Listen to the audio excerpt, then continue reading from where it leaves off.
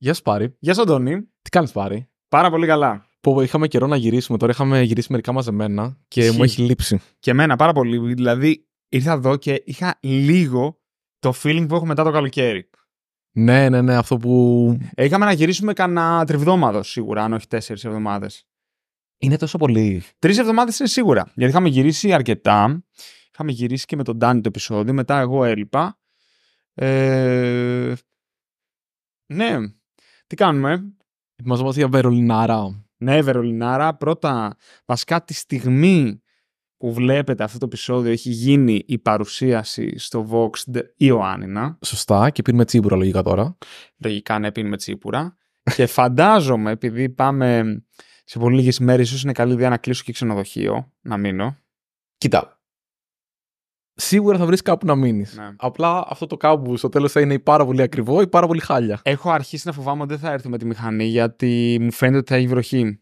Και θα καταλήξω σε εναλλακτικό μέσο Αμαξάτος. μεταφοράς. Ναι, αν βρέχει, ναι. Αν δεν βρέχει, θα έρθω μηχανάτος. Κοίτα, άμα το κάνεις πολύ γρήγορα, μπορεί να συμφέρει και το αεροπλάνο πάντως.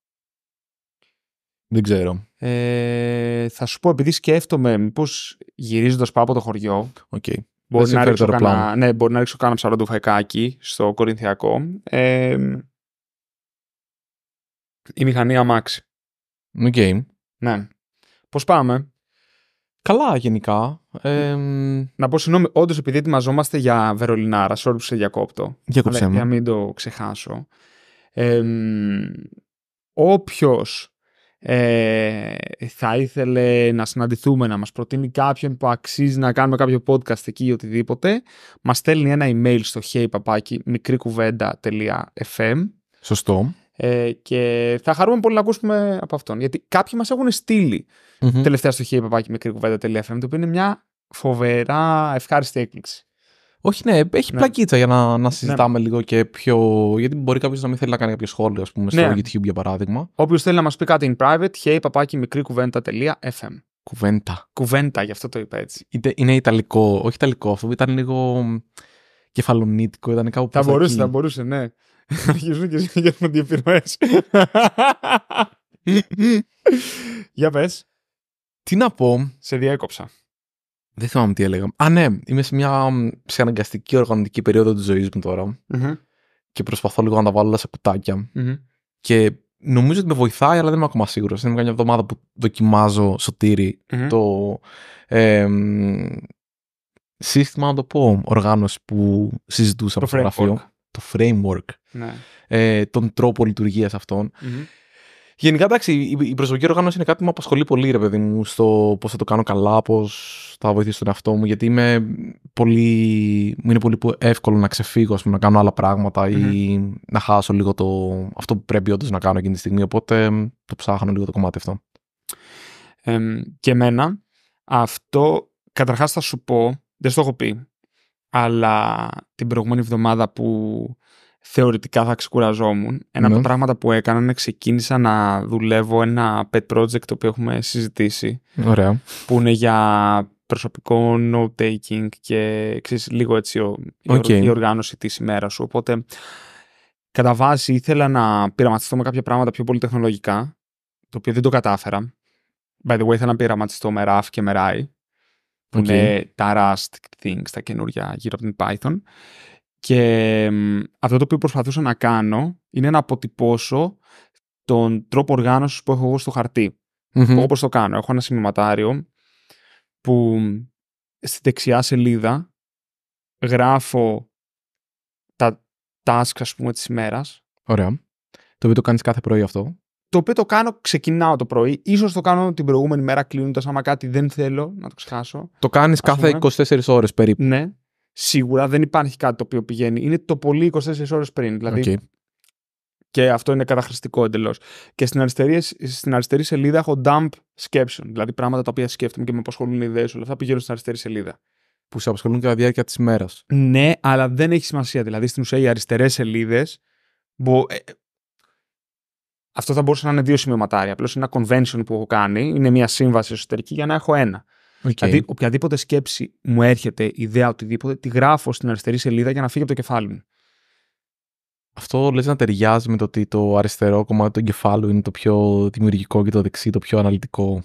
Ε, Αν νομίζω, είναι αυτά, πω, νομίζω πως ο λόγος που συμβαίνει γράφω by default στη δεξιά σελίδα γιατί by default με βολεύει περισσότερο επειδή γράφω με το αριστερό.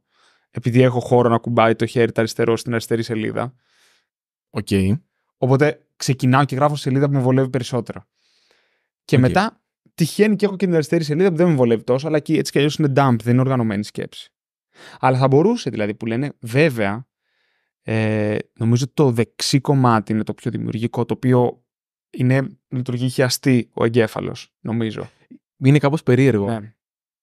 Αλλά αυτό δοκίμασα να το κάνω, να, να ξεκινήσω να το κάνω άμα ήταν μια web εφαρμογή τι θα ήταν. Και έχω εντοπίσει το εξής πάρα πολύ σημαντικό για μένα, επειδή και εμένα η προσοχή μου είναι κάτι πολύ ε, εύθραυστο, το, τολμώ να πω δηλαδή, μπορεί να πάει πολύ εύκολα.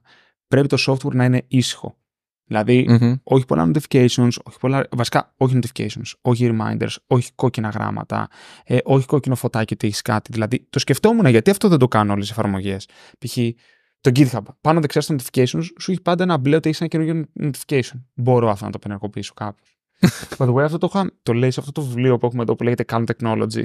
Ναι. Είναι αρκετά γύρω από αυτό για το πώς κάνεις UI, το οποίο σε αφήνει να εστιάσεις στην ουσία και όχι στα γύρω-γύρω. Να είσαι πιο ήρεμος, δηλαδή, ναι. με κάποιο τρόπο. Και, ναι, δηλαδή να εστιάσεις αυτό. Εσύ ξέρεις που θες να βάλεις την προσοχή σου. Άμα έχεις μια μαλακία κόκκινη να αναβοσβήνει όλη την ώρα να σου λες καινούργιο notification.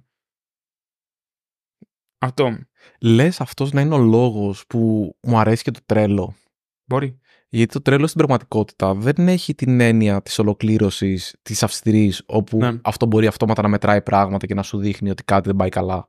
Ναι. Μπορείς να βάλεις deadlines, να βάλεις πιο περίεργα πράγματα για να το κάνεις έτσι, αλλά ίσως το ότι απλά έχεις κάρτες που κουνάς με κάποιο τρόπο που για σένα βγάζει κάποιο νόημα. Είναι ήσυχο. Μπορεί. Και η μόνη εφαρμογή που είχα δει να το κάνει αυτό ήταν το Basecamp 3 το οποίο είχε ένα setting το οποίο το λέγε focus mode, όπου εξαφανιζόταν οποιοδήποτε είδους. Στα αγγλικά το λένε visual cue. Ότι κάτι υπάρχει. Δεν υπήρχε κανένα σημείο, κανένα σημείο της οθόνης που σου έδειχνε ότι κάτι είναι αναπάντητο. Ναι. Ή... Άρα λοιπόν σε, αυτό το, σε αυτή την λειτουργία φαντάζομαι δεν λειτουργούσε και το, το chat που είχαν μέσα, το, το campfire ε, και οτιδήποτε το chat, απλά δεν έπαιρνε notification. Αν θες να πας στο chat, πηγαίνει. Απλά δεν βλέπεις ότι έχω τρία αδιάβαστα. Μπορώ να πατήσω το chat και τότε να δω αν έχω ναι. αδιάβαστα. Ναι. Okay. Αυτό. Μου αρέσει αυτό. Θες να πάμε λίγο προς τα εκεί, λίγο να συζητήσουμε. Το έχουμε ξανασυζητήσει, αισθάνομαι, πριν από ή δύο ή τρεις σεζόν αυτό το κομμάτι της αυτοοργάνωσης και της καθημερινότητας. Ναι, κοίταξε. Καταρχάς Αλλά... δεν είναι. Το συζητήσαμε πριν μια εβδομάδα. Δηλαδή, όντως είμαστε άλλοι ναι. άνθρωποι, ναι. Ε, εννοώ ότι δεν είναι ένα θέμα που δεν έχουμε ξανακουμπήσει, αλλά θα μπορέσουμε να το δούμε και ίσως έχει και πλάκα μετά να, για να ακούσουμε και το, το επεισόδιο τότε να θυμηθούμε ναι, τι έγινε. Οπότε για πες εσύ πώς οργανώνεις τη μέρα σου; Πώς το κάνεις όλο αυτό; Ωραία, πάμε. Θα πάω βασικά ένα βήμα πίσω και θα, θα πω μερικές από τις δυσκολίες που έχω εγώ στην καθημερινότητά μου ή τουλάχιστον έχω δημιουργήσει στην καθημερινότητά μου. Το, το καλό και κακό και κάτι το οποίο αγαπάω πάρα πολύ στην καθημερινότητά μου είναι ότι εξορισμού ασχολούμαι με παραπάνω από ένα πράγμα. Ναι. Τι σημαίνει αυτό, σημαίνει ότι έχουμε τη Logic, έχω, να, ε, έχω το συμβόλαιο στην platform και ενδεχομένως υπάρχουν και άλλα πράγματα που τρέχουν, ξέρω εγώ, mm. με φίλους, γνωστούς, ε, εταιρικά, διαχειριστικά. Δηλαδή υπάρχουν αρκετά, αρκετές ροές πραγμάτων που έρχονται και πρέπει να γίνουν μέσα στη μέρα. Άρα το, το κλασικό μου πρόβλημα είναι ότι πολλές φορές η μέρα μου έχει πάρα πολλά μικρά και κάποια μεγάλα. Και επειδή είμαι πάρα πολύ εύκολος στο να αποσπαστώ και να πάω κάπου αλλού, πολλές φορές τα πιο μεγάλα είτε θα πάνε και θα φουσκώσουν και θα πιάσουν όλη τη μέρα. Οπότε πραγματάκια τα οποία είναι πιο μικρά μεν, αλλά ενδεχομένως πρέπει να γίνουν στα γρήγορα γιατί πρέπει να τελειώσουν αύριο μεθαύριο ή αυτή τη βδομάδα, να πηγαίνουν πίσω. Είτε αναλώνουμε πολλές φορές τα πολύ μικρά, γιατί χάνουμε Α, και αυτό, Α, και αυτό, Α, και αυτό, Α, και αυτό, και αυτό, και χάνουμε μετά το δεν προλαβαίνω να βάλω χρόνο στα μεγάλα. Άρα λοιπόν αυτό ήταν ίσως το πιο σημαντικό πρόβλημα που είχα εγώ. Με τη διάσπαση προσοχής και λοιπά που, που έχω.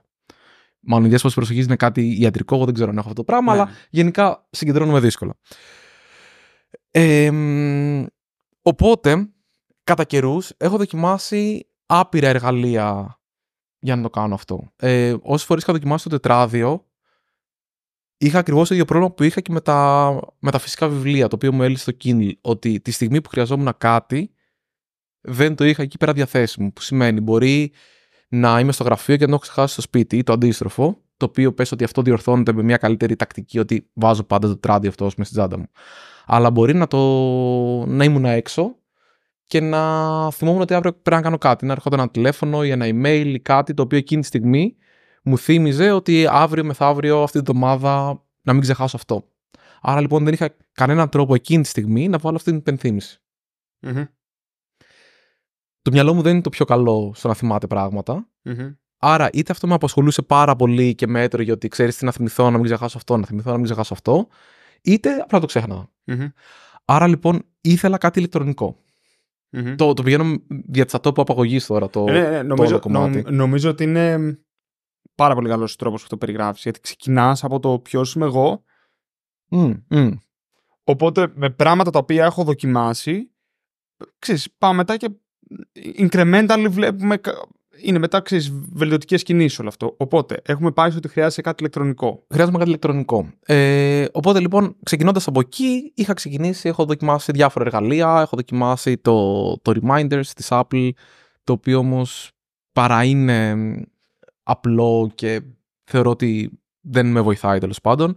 Έχω δοκιμάσει να πάω μετά σε πράγματα όπως το ε, Todoist, το οποίο είναι πιο επικεντρωμένο σε, στο να λύνει την οργάνωση σε tasks. Απλά επειδή καταλαβαίνω ότι και αυτοί θέλουν να βγάλουν κάποια χρήματα, πάνε σε, στην οργάνωση ομάδων περισσότερο, οπότε βάζουν λειτουργικότητα όπως ε, subtasks, ε, linking, ε, labels, filtering, sort.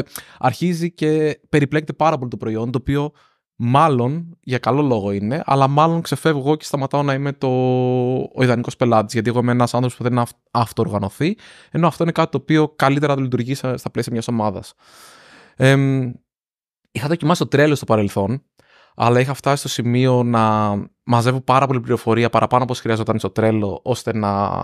και μετά προσπαθούσα να συγχρονίσω την πληροφορία μεταξύ του τρέλο για παράδειγμα και του GitHub ή του τρέλο και ενός άλλου ενός email για παράδειγμα. Άρα δηλαδή πήγαινα και έλεγα ότι α, πρέπει το τρέλο να έχει όλη την πληροφορία. Τότε είχε έρθει και η ιδέα του περιβόητου Calibot, το οποίο γελούσαμε στο γραφείο που ήταν ένα εργαλείο που προσπαθούσε να συγχρονίσει αυτά τα πράγματα αλλά έβλεπα ότι και λόγω του ότι μου αρέσει να πάω και να παίξω με κάτι και να το κάνω λίγο πιο σύνθετο και να δω πώς μπορώ να το κάνω καλύτερο ή να το εγώ ενσωματώσω, αυτό μου έτρωγε παραπάνω χρόνο στην οργάνωση παρά από αυτό που, που μου έλυνε. Οπότε κάποια στιγμή τα είχα παρατήσει όλα αυτά. Μετά είχα δοκιμάσει να έχω τελείως ε, ελεύθερες ε, σημειώσεις. Έπαιρνα, ποιο είχα τότε, το, αυτό που είναι το... Keep. Το, όχι το, το Git-backed πράγμα, το... Έλα μωρέ, το που είναι ανοιχτό κώδικα και έχει από πίσω Git, άμα θέλεις. Obsidian. Το Obsidian, μπράβο. Όπου στο Obsidian τι έκανα, έκανα πολύ, κάτι πολύ κοντά σε αυτό που έκανες και εσύ. Δηλαδή έπαιρνα μια κενή, ας πούμε, ημέρα κάθε φορά και πέταγα εκεί πέρα πράγματα. Και μετά τα μετέφερα στην επόμενη μέρα. Με copy-paste, το οποίο ήταν ναι. εύκολο. Και μάλλον αυτό ήταν το πρόβλημα. Ε, αλλά αυτό δεν, ούτε αυτό φάνηκε να μου λιτώνει. Και αυτό που δοκιμάζω αυτή την περίοδο, για να καταλήξω λίγο στο τι κάνω τώρα, ε, έχω ξαναγυρίσει στο τρέλο. Είχα μια συνάντηση με το φίλο μας ο Σωτήρη την προηγούμενη εβδομάδα. Okay.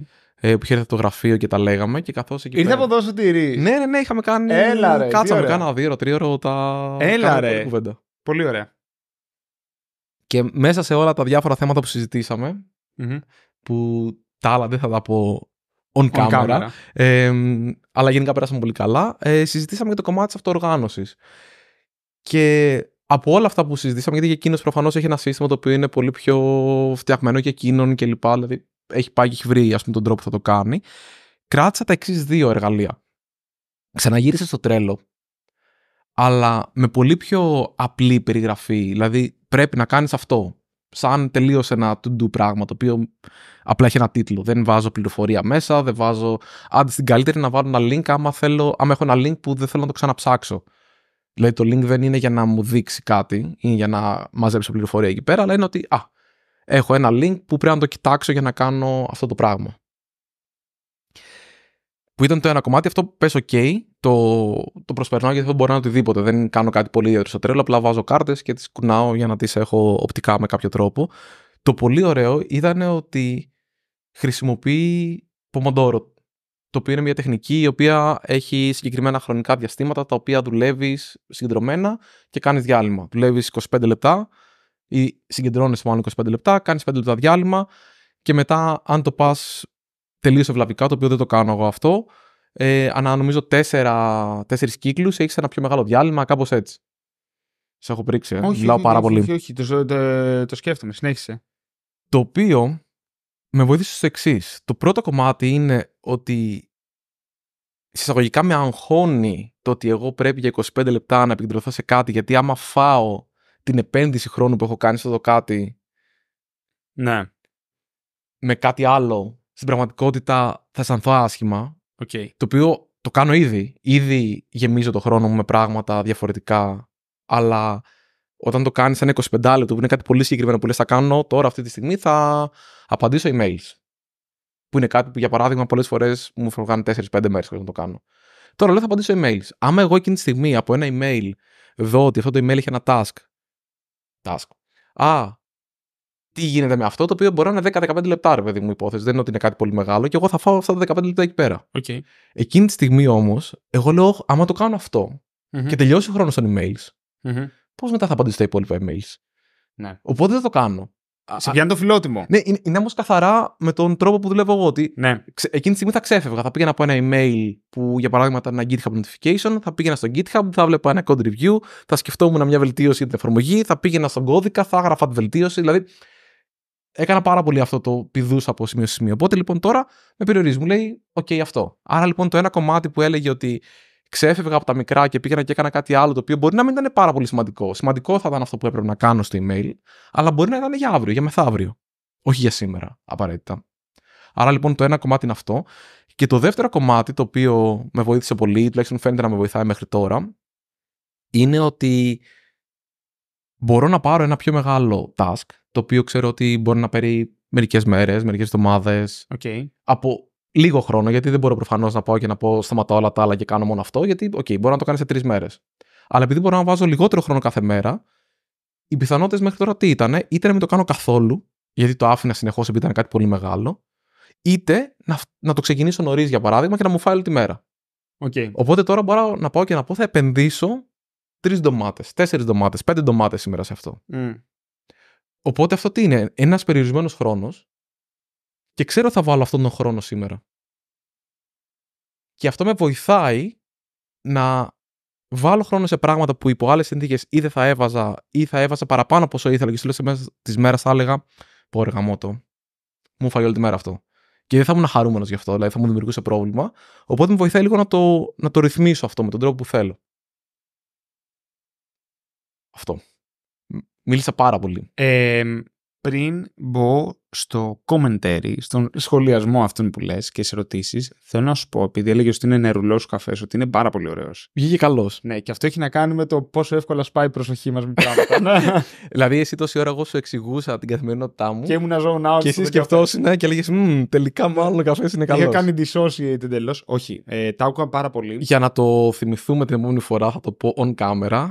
Βάλαμε στο 6 από τη δεξιά μεριά του πράγματος που έχουμε στον καφέ, Του δοχείου. του δοχείου και βάλαμε ένα εσπρεσοπόντιρο που νομίζω παίρνει περίπου 30 γραμμάρια καφέ. Άρα λογικά αυτό είναι κοντά στο μισό λίτρο που κάναμε. Δεν ξέρω αν 50 γραμμάρια καφέ. 50 γραμμάρια προ- πρωτεΐνη. Ναι. Έτσι το έχουμε μετρήσει τι να κάνω. Αλλά εντάξει, πόσο διαφορά να έχει το ειδικό βάρος πρωτενη και του καφέ; Δεν ξέρω. Δεν ξέρω καθόλου. Α πούμε, σε, σε μια τυπική μέρα τώρα θα καθόμαστε και θα ψάχναμε το, τη διαφορά ειδικού βάρους πρωτενη και καφέ. Ισχύει. Ισχύει. Ε, πρέπει να πάρουμε όμως μια ζυγαριά στο γραφείο για να τα ζυγίζουμε αυτά. Ε, ωραία. Άκου τώρα να δεις τι σκεφτόμουν. Καταρχάς, ε, είμαι πάρα πολύ κοντά σε αυτό το οποίο λες. Ε, γενικά στην όλη σου περιγραφή, εκεί που το χάνω είναι οι ντομάτες Μμμ. και αυτός ο τρόπος οργάνωσης ημέρας εγώ δεν μπορώ να λειτουργήσω έτσι.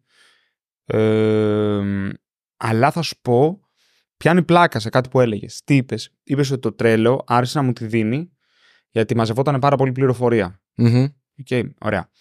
Ε, και ποιο ήταν το πρόβλημα με το Obsidian? Ότι έπρεπε εσύ να φέρνεις την πληροφορία χειροκίνητα. Μμμ. Τα οποία αυτά τα δύο είναι, είναι ας πούμε οι δύο όψεις του ίδιου μαρτυρίου. Δηλαδή είναι σαν να it's choose your own poison. Δηλαδή είναι τα δύο άκρα αυτό. Δηλαδή από τη μια περίπτωση δεν έχεις πληροφορία και είναι εντελώς ταμπούλα ράζα κάθε φορά. Και από την άλλη, η πληροφορία ε, by default μεγαλώνει. Δηλαδή, η περίπτωση που κάθε φορά τελειώνεις ό,τι να κάνεις την ημέρα σου είναι μόνο να βάζεις πάρα πολύ λίγα πράγματα μέσα. Το, η, η διαφορά ξέρεις ποια είναι; Ότι μου είναι πολύ πιο εύκολο μετά. στο τέλος της ημέρας να πάω και να πω ότι. Μάλλον στην αρχή της επόμενης, τέλος πάντων, όποτε κάνω τον προγραμματισμό των, των 24 ώρων, το πούμε ναι. έτσι. Να πω ότι, οκ, αυτό θα το ξαναφήσω εδώ. Δηλαδή, είναι μια επιλογή το αν κάτι έχει την ίδια προτεραιότητα και αύριο. Γιατί μπορεί να το είχα αποφασίσει να το κάνω σήμερα, μπορεί να έτυχε οτιδήποτε και να μην το πρόλαβα. Ναι. Το αν θα το ξαναπρογραμματίσω για αύριο είναι μια επιλογή η οποία παίρνω συνειδητά. Και μου είναι πολύ εύκολο να κουνήσω μια κάρτα, ενώ στην αντίστοιχη περίπτωση στο Obsidian το να πάω να κάνω copy-paste τα πάντα, να σβήσω αυτά τα οποία σίγουρα έχω κάνει και μετά δεν έκανα ποτέ το φιλτράρισμα. Οπότε πάντα αυτή η λίστα μεγάλωνε. Ναι. Δεν ξεκινούσε στην πραγματικότητα ποτέ από το τίποτα, γιατί πάντα γινόταν copy-paste από τη χθεσινή. Okay. Άκου τώρα τι γίνεται. Θεωρώ ότι υπάρχει μια σημαντική διαφορά μεταξύ του πώς οργανώνουμε τις ημέρες μας, που είναι κάτι σε, που είναι σε σημαντικό βαθμό και τι δουλειές έχουν να γίνουν σε μια εταιρεια Είναι δύο διαφορετικά πράγματα. Γιατί το... ο τρόπος που δουλεύεις εσύ είναι πραγματικά προσωπικός. Για παράδειγμα, εσένα οι ντομάτες δουλεύουν επένα. Εμένα δεν, δεν υπάρχει σενάριο που εγώ μπορώ να δουλέψω έτσι. Δεν ξέρω αν δουλεύουν επένα. Είναι κάτι που δοκιμάζω μια εβδομάδα τώρα. Δεν υπάρχει σενάριο που μπορώ να δουλέψω με ντομάτες. Ξέρω τους λόγους, μπορώ να αρχίσω να σου λέω από τώρα και να τους πούμε και μετά. Αλλά εγώ δεν μπορώ υπό καμία συνθήκη να δουλέψω έτσι με τον τρόπο που, είναι, που είμαι καλωδιωμένος από τη φύση μου. Ωραία. Ωραία. Θεωρώ όμως ότι το ότι εσύ είπες σήμερα θα κάνω κάτι δεν σημαίνει ότι αν δεν το κάνεις θα έχεις να το κάνεις και αύριο. Ναι. παράδειγμα. Υπάρχει περίπτωση να πεις ότι α, σήμερα είναι η τελευταία μέρα που έχω για να αγοράσω εισιτήρια για κάτι. Okay. Και εσύ το ξεχνάς. Δεν μπορείς να αγοράσεις πλέον εισιτήρια αύριο. Δεν υπάρχει λόγος αυτό να μετακυλιστεί απλά για να κάνεις τσεκ αύριο. Οπότε, εμένα η γνώμη μου είναι ότι κάθε μέρα πρέπει να ξεκινάει τάμπουλα ράζα. Αυτό το έχω σαν άποψη χρόνια τώρα και το έχω δει ότι εμένα αυτό είναι κάτι το οποίο μου δουλεύει. Η μέρα μου πρέπει να είναι τάμπουλα ράζα και υπάρχει μία στιγμή, είτε στο τέλος της προηγούμενης ημέρας, είτε στην αρχή της τωρινής, που επιλέγω αν υπάρχει κάποια εκκρεμότητα από τις προηγούμενες την οποία θέλω να κάνω και σήμερα. Αυτό είναι πάρα πολύ μικρό, πάρα πολύ μικρή επένδυση για να μου είναι πρόβλημα, για το κάνω μία φορά είτε στο τέλος είτε στην αρχή. Και that's it. Συνήθως το κάνω στο τέλος. Δηλαδή λέω, α, οκ, okay, μην ξεχάσω να κάνω αυτό και αυτό. Οπότε, εγώ θεωρώ ότι αυτή είναι η μέση λύση μεταξύ, δηλαδή αυτό το πράγμα στο Trello που τα πάντα μένουν, θεωρώ ότι είναι και λάθος. Δηλαδή θα, θα είμαι τόσο. Πες. Πάνω σε αυτό, μία σημείωση που μάλλον είναι σημαντική και την οποία δεν ανέφερα είναι στο τρέλο έχω τις εξής κολόνες. Έχω τον κουβά. Okay.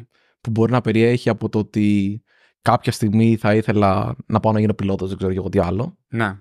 Δεν περιέχει κάτι τόσο ρε παιδί μου προσωπικό, αλλά τελείως πράγματα τα οποία ναι. θα ήθελα να γίνουν υπάρχει αυτά τα οποία θέλω να κάνουμε στην εβδομάδα.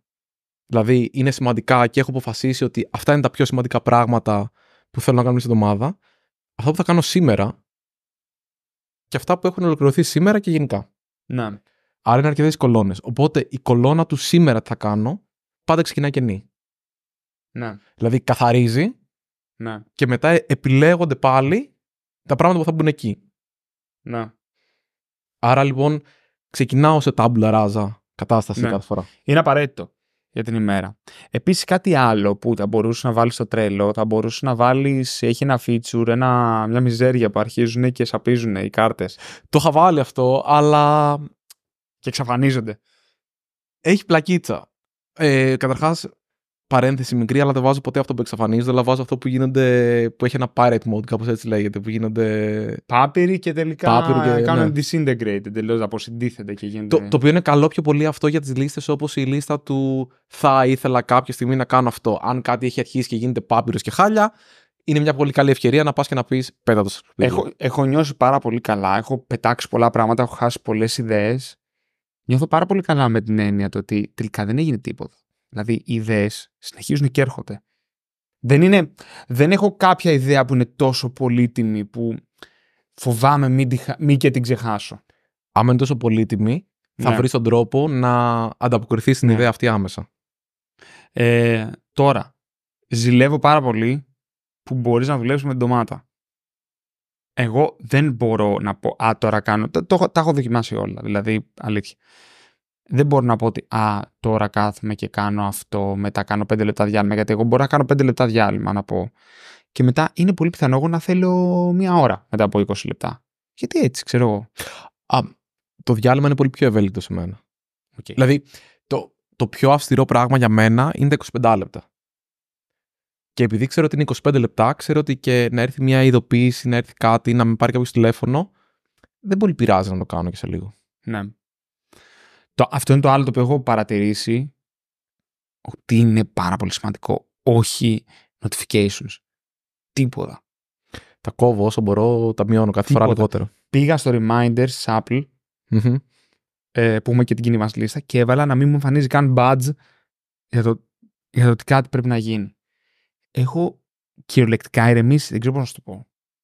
Το να πηγαίνω κάτω στο, Στην στο, στο dock και να μην έχω κοκκινάδια ή notifications στο κινητό πουθενά, έφυγαν όλα παντού. Δεν υπάρχει πουθενά badge του πόσα notifications έχω. Δεν με νοιάζει. Ό,τι είναι, ό,τι κρεμεί, άμα κάποιος θα με πάρει τηλέφωνο, αν είναι τόσο σημαντικό και δεν το θυμηθώ και περάσω. Δεν.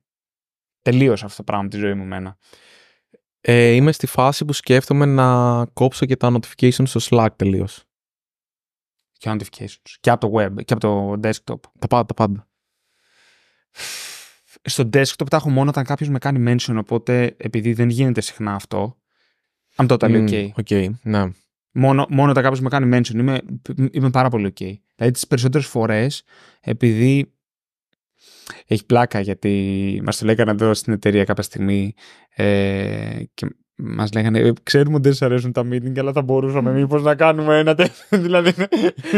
στο άλλο άκρο. Είναι, είναι στο άλλο άκρο. Οπότε επειδή έχουμε αυτή την κουλτούρα το ότι δεν υπάρχουν πάρα πολλά meetings, δεν γράφουμε συχνά στο Slack. Με την... No, okay, να γράψουμε άμα είναι κάτι, αλλά προτιμάμε το GitHub για να έχουμε single source of truth.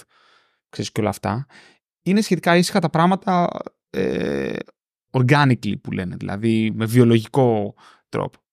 Οπότε δεν με πειράζει αυτό. Okay. Ναι, ίσως πρέπει να κόψω παραπάνω τα notifications στο Slack. Το, το πρόβλημα μου εκεί πέρα ήταν ότι στην platform είναι και κάποια, έχουν mention groups. Okay. Όπου αναγκαστικά είμαι σε κάποιες ομάδες, οπότε έρχονται και σε μένα αυτά τα notifications σαν mentions. Οπότε δεν μπορώ να τα γλιτώσω κάπως. Υπάρχει group mention στο Slack, είναι στο Enterprise; Υπάρχει group mention και είναι τόσο μαλάκες που δεν έχουν πάει να διαφοροποιήσουν το group mention από το δικό σου mention. Άρα εγώ δεν μπορώ να πάω και να πω αν κάποιος κάνει mention εμένα φέρει μου notification, ναι. αλλά αν κάνει mention το group που βρίσκομαι κι εγώ μέσα, μην μου το φέρεις. Οκ. Okay. Εμένα μου φαίνεται τρελό UX πρόβλημα αυτό. Ναι, Ακραίο. Είναι, είναι πάρα πολύ σοβαρό αυτό. Οκ. Okay. Γιατί υπάρχουν φορές, για παράδειγμα, ε, ο τρόπος που δουλεύουμε στην ομάδα που, που είμαι στην platform είναι ότι μία εβδομάδα με δύο το χρόνο, ανάλογα με το πώς πάει ο κύκλος, είσαι on call. Όχι on call 24 ώρες, αλλά ότι όσο δουλεύεις, εσύ πρέπει να βοηθάς ναι. τα εργαλεία τα οποία διαχειρίζεται η ομάδα σαν υποστήριξη άλλες ομάδες μέσα στην εταιρεία. Οπότε, οποιοδήποτε θέλει να ζητήσει κάτι από τη δικιά μου ομάδα, θα κάνει mention το, το group mention. Okay. Και άρα θα το πάρω κι εγώ όλες τις εβδομάδες του χρόνου. Οπότε κλείνουν τα notifications. Δεν θα έχει ενδιαφέρον να υπάρχει ένα group mention στο οποίο μπαινοβγαίνουν τα άτομα τα οποία είναι on call. Θα μπορούσε, αλλά αυτό έχει πάρα πολύ. Γιατί να το κάνεις τόσο σύνθετο, όταν μπορεί να επιλέξει ένα άτομο από μόνο του, αν θέλει να, να επιλέξει, ρε φίλε. Θα έπρεπε να μπορεί να επιλέξει, ρε φίλε. Το, το, το Slack δεν γίνεται να μπορεί να ξεχωρίσει ένα notification το οποίο έρχεται επειδή έχεις group mention σε σχέση με το αν έχεις κανονικό mention. Okay ποιος είναι αυτός ο product manager που το σκέφτηκε, να έρθει να, να του παραπονεθώ, μπας και το φτιάξεις. Το πρόβλημα στο Slack είναι ότι βγάζουν τόσα πολλά χρήματα που πλέον δεν μπορούν καν να κάνουν σωστή προτεραιοποίηση στα πράγματα. Δηλαδή, όταν έχεις αυτό το, πώς το λένε, το escape velocity, δηλαδή ναι. έχεις, είσαι σε μια τροχιά που δεν σε επηρεάζουν πολλά πράγματα. Δηλαδή, OK, υπάρχει το Microsoft Teams. Ποιο; Το ποιο; Ε, υπάρχει το Google Chat, αλλά η αλήθεια είναι ότι το Slack είναι το default. Google Chat, πω πω. Προσπαθούν αυτοί εκεί. Βλέπω, κάνουν όλο κάτι features, κάτι, αλλά δεν... το Slack το έχει πάρα πολύ καλά. Παίζουν μπάλα σχεδόν μόνοι τους, κατά τη γνώμη μου. Ναι, δηλαδή, okay, βασικά, δεν παίζουν. Okay, στο, σε μεγάλες εταιρείες, ίσως στο δημόσιο, καταλα... ε, υπάρχει το Microsoft Teams, είναι ξεκάθαρο ότι έχει μεγάλο μερίδιο αγοράς. Super clear.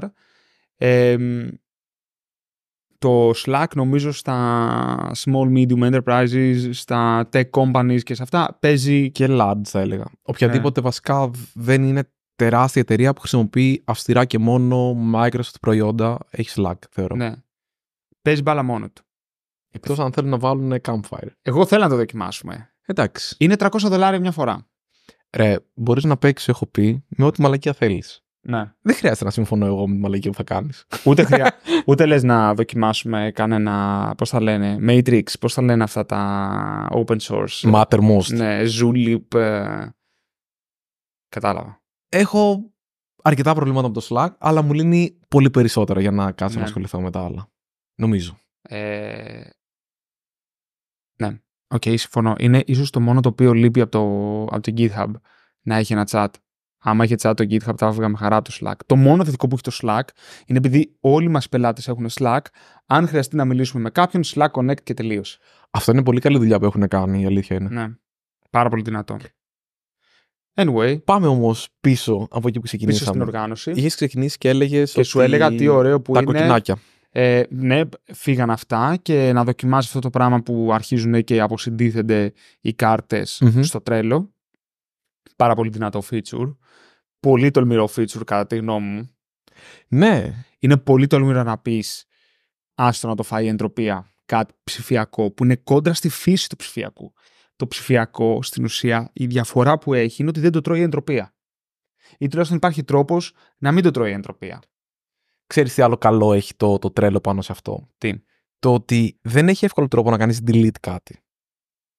Τα πάντα τα κάνεις archive. Ναι.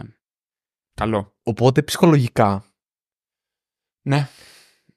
Δεν πολύ πειράζει να το κάνεις archive. Ναι. Α, το έκανα archive. Και... Άμα θέλω μπορώ να πάω να το βρω. Αυτό επίσης είναι πάρα πολύ σημαντικό. Ε, δεν το έχουμε εδώ. Είναι άλλο ένα βιβλίο το οποίο λέγεται. Γενικά από τα αγαπημένα μου τα, τα βιβλία γύρω από το user experience είναι καταπληκτικά. Δεν ξέρω αν έχεις διαβάσει ποτέ. Έχεις πάθει Ιωσήφ σήμερα. Ναι, ναι, έχω πάθει Ιωσήφ. ε, αυτά όλα είναι μεταξύ βιβλία τα οποία τα έχω διαβάσει σε μια φάση που μου είχε πιάσει με το design 2016-2017. Λογικά το θυμάσαι ότι με είχε πιάσει. Αλλά όντως είχα μάθει κάποια πράγματα τα οποία ήταν γαμάτα. Και υπάρχει αυτό το βιβλίο που λέγεται About Face είναι από τον Alan Cooper, ο οποίος ήταν και designer της Visual Basic, το οποίο δεν ξέρω ακριβώς τι εννοούσε. Του IDE της Visual Basic, του... της γλώσσας αυτής κάθε αυτής. Είναι τέλος πάντων μεγάλη μορφή ο Alan Cooper, τον ξέρει και ο σωτηρης Λοιπόν, στο βιβλίο το About Face που ασχολείται με διάφορα θέματα γύρω από το ε, user interface, λέει τη σημασία του να μπορώ εγώ να κάνω undo κάτι. Το οποίο στην ουσία το archive, αυτό είναι αυτό το οποίο σου δίνει. Ότι εσύ κάτι το πηγαίνεις κάπου που αυτή τη στιγμή δεν σε αφορά. Αλλά δεν χάνεται. Αλλά δεν χάνεται. Μπορείς να κάνεις την ουσία undo. Δεν το λέω ότι είναι το undo απαραίτητα με το ότι α, μου εμφάνισε ένα κουμπί που κάνω undo, αλλά με το ότι Δεν ξέρω τι ήταν αυτό. Κάτι παίχτηκε. δεν, ξέρω, δεν ξέρω να ακούστηκε. Αλλά ναι, τη σημασία που έχει οι, οι ενέργειες που κάνεις να, Τώρα μην, πας πίσω. να μην είναι εύκολα Και να μπορείς, α, δηλαδή να συγχωρούνται τα λάθη. Αυτό. Όπως τα projects και οι χρήστες ο Sorcerer που στην πραγματικότητα διαγραφόντουσαν τα δεδομένα. Όχι ακριβώς τα δεδομένα σου διαγραφόντουσαν γιατί έπρεπε να διαγραφτούν, αλλά υπήρχε δυνατότητα να ναι. γνωρίζουμε αν όντως ναι. κάποιος χρήστης υπήρχε. Ναι. ναι, ναι, ναι. Σωστά. Οπότε αυτό έχει πάρα πολύ σημασία. Αυτό είναι το archiving του τρέλο, το ότι εσύ πετάς κάτι, αλλά αν έκανες λάθος ή μετανιώσεις, that's fine. Επίσης δεν το πετάς. Το, το αρχιοθετείς κάπου. Δεν σε ενδιαφέρει δηλαδή αν δεν το διαγράφεις, δεν χάνεις την ύπαρξή του, δεν, δεν το εξαφανίζεις. Ναι. Απλά πας και λες ότι αυτή τη στιγμή δεν είναι κάτι το οποίο με αφορά ενεργά. Σωστά. Το οποίο είναι πολύ, πολύ ενδιαφέρον. Σωστά. Τώρα, ε, αυτό το οποίο ζηλεύω επίσης στο κομμάτι με τις ντομάτες ναι. είναι το... Από τη μία το ζηλεύω, να λέω και εγώ το δικό μου τρόπο, αλλά θα ήθελα να μπορώ να έχω και αυτό το εργαλείο. Να μπορώ να πω ότι, α, ωραία, τώρα θα φωσιωθώ σε αυτό και κάνω commit. Μου είναι πολύ δύσκολο να έχω αυτή την πειθαρχία ότι τώρα θα ασχοληθώ με αυτό. Μπορώ να πω ότι σήμερα πρέπει να γίνουν πέντε πράγματα. Αυτό το εχω Αλλά είμαι λίγο πιο πολύ το. I go with the flow, δηλαδή, ρε παιδί μου, μέσα στη μέρα. Δηλαδή, μπορώ να μαζέψω λίγο την προσοχή μου. Έχω κάποια εργαλεία. Αν μου έρχονται ιδέες, π.χ. πηγαίνουν στο dump που σου έλεγα στην αριστερή σελίδα. Αυτό είναι πολύ καλό. Μου ναι. άρεσε πολύ σαν ιδέα. Δηλαδή να φεύγουν αυτά. Αλλά οκ, okay, ας κάνω κάτι άλλο τώρα, αυτό νιώθω. Και, μόλι, και εν τέλει κάπως ε, πάλι organically slash βιολογικά, καθώς περνάει η μέρα και πλέον έχω λιγότερες επιλογές, κάπως γίνονται όλα. Κατά βάση, αυτό το έχω δει να, να δουλεύει. Εμένα ίσως αυτό που με βοηθάει περισσότερο εκεί πέρα είναι ότι πάντα υπεργέμιζα τη μέρα μου. Ναι. Πάντα έλεγα πρέπει να κάνω αυτά τα 10 πράγματα δεν σκεφτόμουν ποτέ πόσα πράγματα μπορώ να κάνω σήμερα. Ναι. Είναι πόσα θα ήθελα να κάνω σήμερα.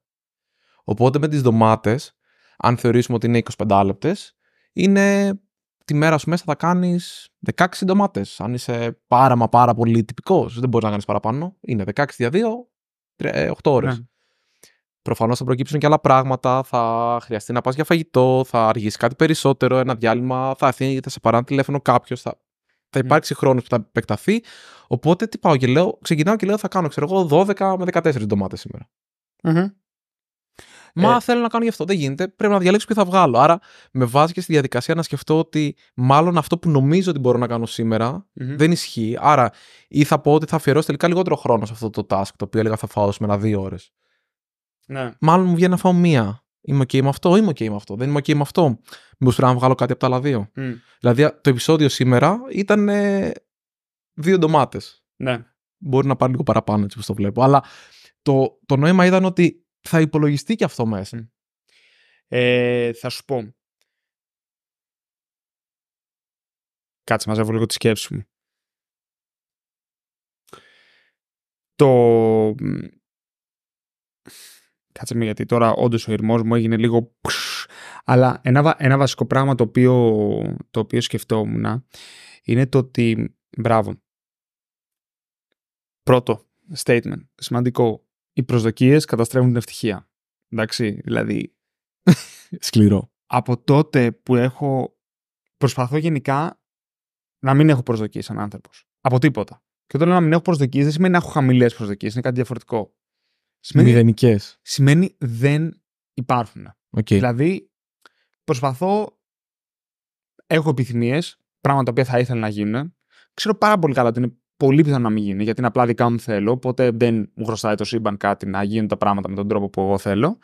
Και κατά δεύτερον, προσπαθώ να αφήνω τη ζωή να μου αποκαλύπτεται, ρε παιδί μου, και να, να βλέπω, ξέρεις, πώς Ρομαντικό. Ε, ρομαντικό. Είναι κρίνει την πραγματικότητα μόνο για αυτό το οποίο είναι. Mm-hmm και κατά τη γνώμη μου είναι ο, ο μόνος τρόπος. Δηλαδή, το να πεις ότι «Α, εγώ σήμερα θέλω να κάνω 10 πράγματα» και εσύ να κάνεις τα 5, μπορούν να... Εσύ μπορεί τελικά να κάνεις ένα και όχι 10 για χίλιους δυο legit και μη legit λόγους. Μπορεί να γίνουν ένα κάρο κατανοητά και μη κατανοητά, δικαιολογημένα και μη δικαιολογημένα πράγματα, σε οποιαδήποτε αναλογία, τα οποία μπορούν να σε εμποδίσουν από το τελικό αποτέλεσμα. Εντάξει. Συμφωνώ απολύτως. Φύγανε προσδοκίες. Ε, άρα, τι βάζω εγώ στα, σε αυτά τα οποία έχω να κάνω κάθε μέρα, αυτά τα οποία θέλω να κάνω. Και ξέρω πάρα πολύ καλά ότι είναι μια επιθυμία η οποία μπορεί να μην γίνει και τίποτα. Και είμαι OK με αυτό. Απλά όταν οι επιθυμίες μου ξεπερνούσαν όχι την πιθανότητα να συμβεί κάτι και να μην γίνουν. Ναι. Δεν είχαν καν περίπτωση να γίνουν αυτά. Άκου. Α μην γίνει τίποτα. Δεν έχω κανένα πρόβλημα, γιατί γενικά έχω εμπιστοσύνη στον εαυτό μου. Δηλαδή. Ναι, αλλά αν κάθε μέρα δεν κάνω τίποτα. Εγώ τουλάχιστον τα ξενερώνω. Ναι, αλλά αυτό Εγώ δεν- ξενερώνω. Ναι, μάλλον. ναι, αλλά αυτό δεν γίνεται γενικά. Δηλαδή, αν για μια περίοδο κάθε μέρα δεν κάνεις τίποτα, ε, θες διακοπές. Και αυτό είναι οκ. Και μετά τι κάνεις, παίρνεις διακοπές και πας και πειραματίζεσαι με Μπράβο. εργαλεία που είναι σε τεράστια Python. Μπράβο, ακριβώς αυτό. Ε, οπότε. μ, Αυτό είναι το ένα. Δηλαδή, βάζω αυτά τα οποία θέλω. Ξέρω πάρα πολύ καλά ότι μπορώ να κάνω από, τα, μηδ- από 0 μέχρι και πολύ παραπάνω. Μου έχει τύχει αυτό. Okay. Αλλά δεν με νοιάζει. Ξέρω ποια είναι σημαντικά και ποια πρέπει να γίνουν. Αυτό δεν χρειάζεται υπενθύμηση. Δεν χρειάζεται κάποιο tag. Δεν χρειάζεται κάποια κατο- κατηγοριοποίηση. Και εγώ δεν κατηγοριοποιώ, Ναι, δηλαδή, κατηγοριοποιώ τί- τίποτα. αυστηρά. Flat. Περίπου λέω θέλω να κάνω αυτά. Ναι. Οπότε, αυτό το ξέρω και γενικά προσπαθώ και όλο αυτό το οποίο λέω εντωμεταξύ μου μου έχει ταιριάξει πάρα πολύ και με το βιβλίο που διαβάζω αυτόν τον καιρό και το οποίο το τελειώνω λογικά σήμερα αύριο και θα το προτείνω στο τέλος. I go with the flow. Δηλαδή, αφήνω λίγο να δω πώς τσουλάει το πράγμα. Αυτό το οποίο έχω δει ότι με έχει βοηθήσει εμένα σε αυτή τη διαδικασία είναι το ότι είμαι αρκετά πιο συνειδητός με τη δουλειά μου. Δηλαδή, επειδή ξέρω ότι δεν θα έχω notifications να μου σκάσουν να κάνουν να ράνουνε, είμαι πιο παρών σε αυτό το πράγμα. Δηλαδή λέω, οκ, μην. εμ, Οκ, α, μην δεις YouTube, ρε παιδί μου, λίγο τώρα. Δηλαδή, άστο λίγο μετά να τελειώσω αυτό γιατί είναι σημαντικό. Ξέρεις ότι έχεις κάτι σημαντικό. Και λειτουργώ λίγο, κα- εγώ λειτουργώ καλύτερα έτσι, να είμαι δηλαδή στο προσκήνιο αυτή τη στιγμή.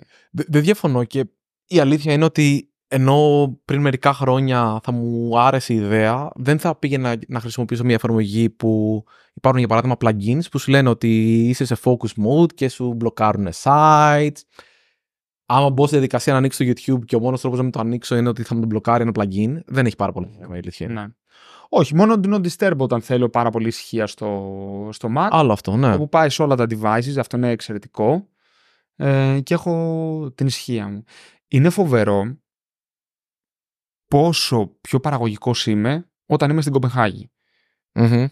Ε, που εδώ χαίρομαι όλη αυτή την κοινωνικότητα που τα σπάμε ο ένας τον άλλον εδώ που είμαστε στο γραφείο, δηλαδή δεν το αλλάζουμε τίποτα.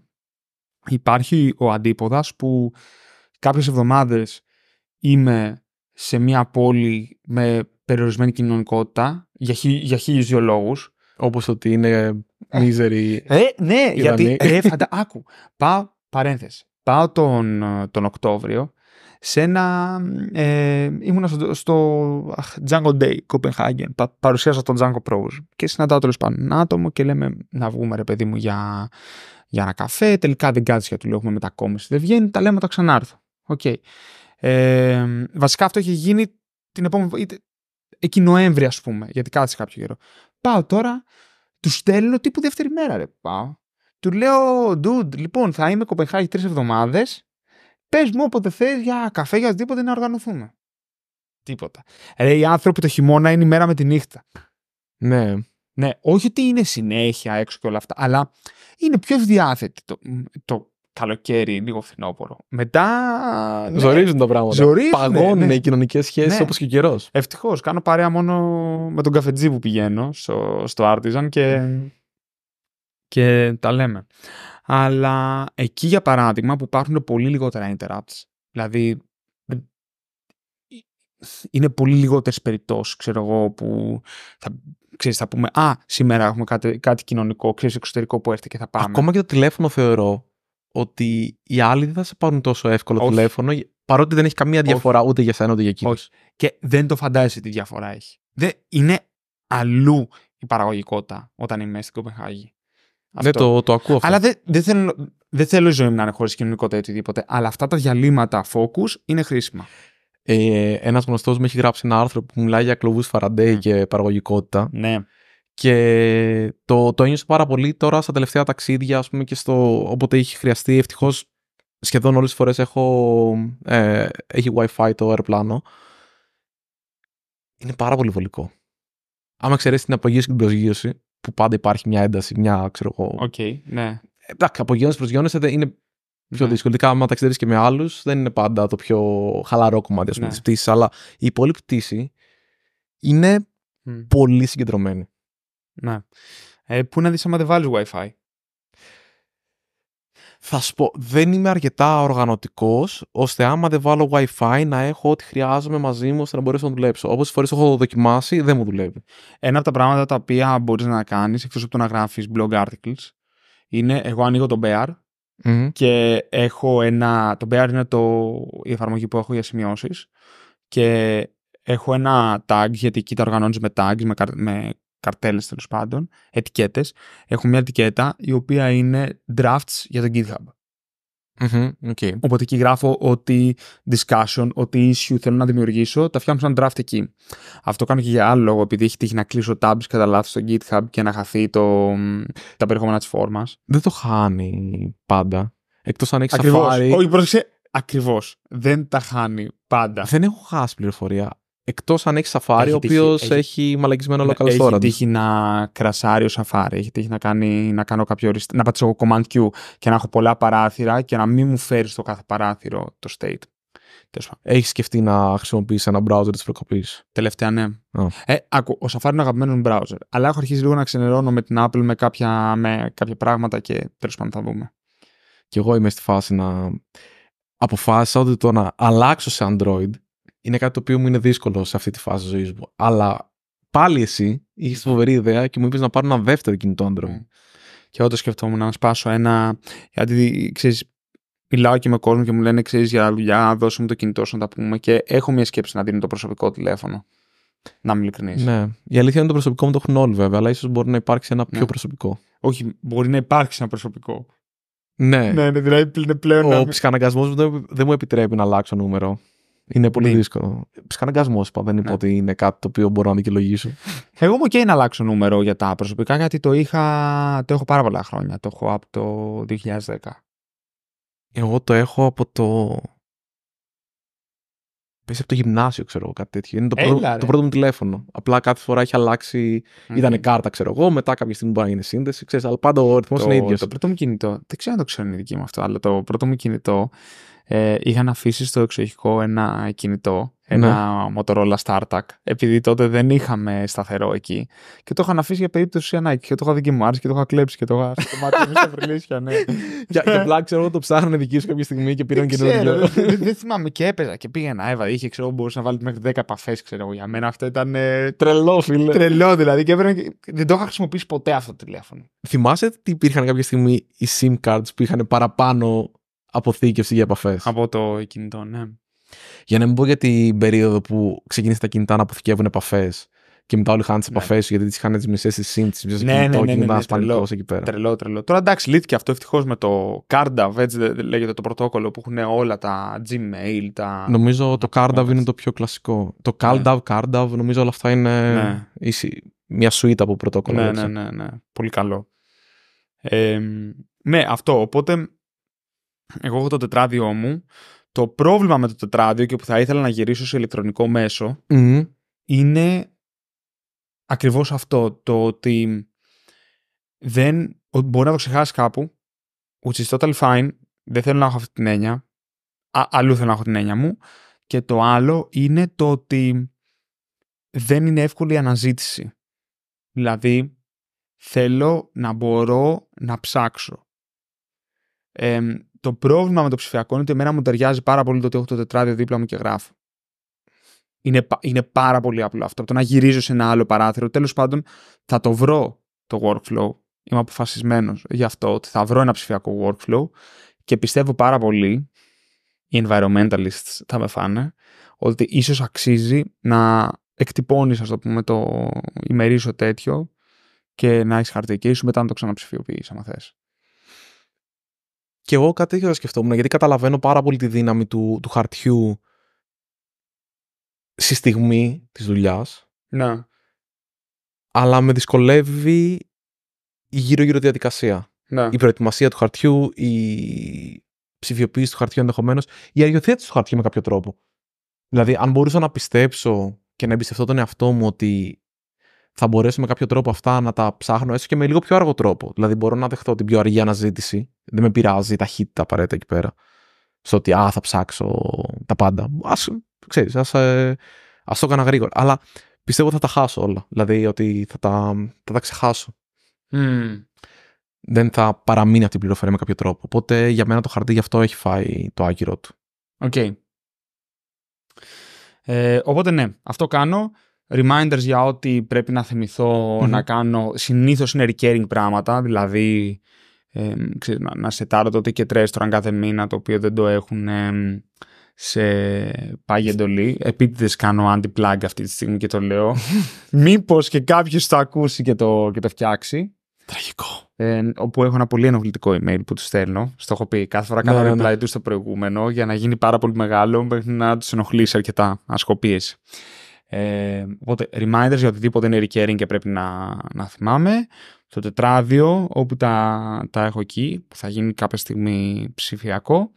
Και that's it. Από εκεί και πέρα θα, ήδη η τριπλέτα GitHub, Slack, Gmail είναι ήδη πολύ μεγάλη. Αν μπορούσε όλο αυτό να είναι ένα, θα ήταν ακόμα καλύτερα. Και εμένα, και εμένα με ζορίζει και νομίζω ότι Δηλαδή η υπενθύμηση των emails στα emails, για παράδειγμα, τα reminders για τα υπόλοιπα και αυτά και εμένα αρχίζει και μου φαίνεται ok. Δεν, δεν με πειράζει που όλα δεν είναι στο εργαλείο. Ψηλό... Ναι.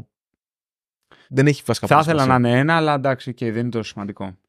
Μάλλον δεν έχει σημασία. Δεν έχει τόσο σημασία. Δηλαδή, όσε φορές έχω προσπαθήσει να χρησιμοποιήσω Google Tasks, για παράδειγμα, που είναι ενσωματωμένο και με το ημερολόγιο και με το email, δεν με έχει βοηθήσει. Και επειδή υπάρχουν και πράγματα τα οποία δεν είναι στο email, για παράδειγμα, ή στο ημερολόγιο, ή είναι σε διαφορετικό email, μπορεί να είναι στο προσωπικό, για παράδειγμα, και όχι στο εταιρικό. Ναι. Τι κάνεις εκεί πέρα τώρα, γιατί να έχω 52.000 πράγματα. Βαριέμαι.